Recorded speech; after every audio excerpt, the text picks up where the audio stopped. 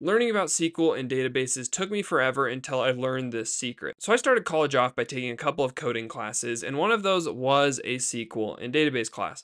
And when I first heard of this class, I thought it was just going to be very easy. I knew my way around Excel and I knew how to work with data in Excel, so I thought that a database was just going to be essentially just a really big Excel sheet. But I ended up being very wrong with that. And we got our first exam back, and I got a pretty bad grade for just an introductory to a database class. And it kind of continued this way over the course of the class. And I ended up taking a couple more database classes, as that was what my major was.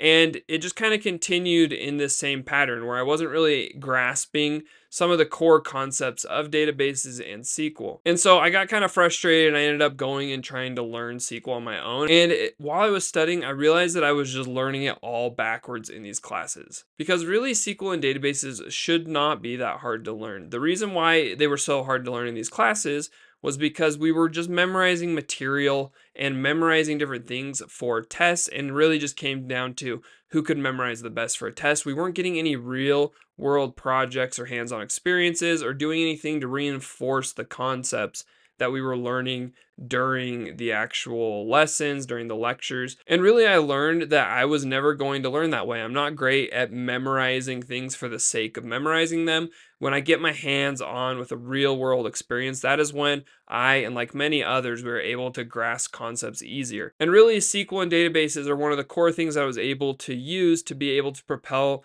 my career, land a job as a data engineer, and as well be able to help teach others how to use SQL and databases.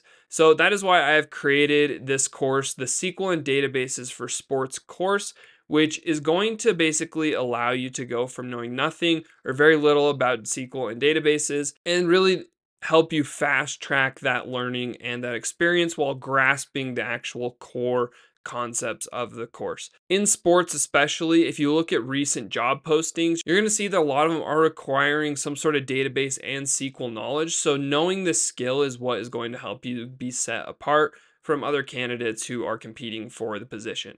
And this really is the course that I wish I had, you know, all those years ago when I was first learning. So right now I'm launching a pre-sale on the course. You can get it for cheaper and that way you can get in at kind of the best price possible. So if you're excited to learn about SQL and databases and apply it to sports analytics, I will see you in the course.